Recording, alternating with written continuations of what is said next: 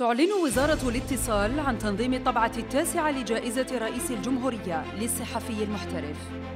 وذلك بمناسبة اليوم الوطني للصحافة المصادف للثاني والعشرين أكتوبر من كل سنة. تتمحور مواضيع هذه الطبعة حول أحد المواضيع التالية. الجزائر الجديدة وإشكالية الأمن الغذائي والمائي. الجزائر الجديدة تمكين الطاقات الشبابية والقدرات الإبداعية. الأمن الطاقوي وأبعاده الجيوسياسية. تهدف الجائزة إلى تتويج أحسن الأعمال الصحفية المشاركة في الأصناف التالية. الإعلام المكتوب. الإعلام التلفزيوني الإعلام الإذاعي. الإعلام الإلكتروني والصورة.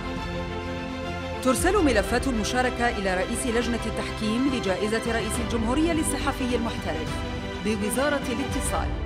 وآخر أجال للمشاركة يوم العشر أكتوبر 2023 لمزيد من المعلومات وتحميل استمارة الترشح يرجى زيارة الموقع الإلكتروني للوزارة www.ministercommunication.gov.sn